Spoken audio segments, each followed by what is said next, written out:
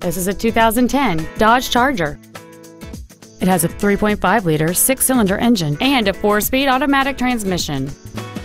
Its top features include power adjustable driver pedals, a low tire pressure indicator, traction control and stability control systems, aluminum wheels, and satellite radio. The following features are also included a power driver's seat, solar control glass, cruise control, a Sentry key theft deterrent system, fog lamps, halogen headlights, disc brakes with an anti-lock braking system, side curtain airbags, air conditioning with automatic climate control, and this vehicle has fewer than 38,000 miles on the odometer.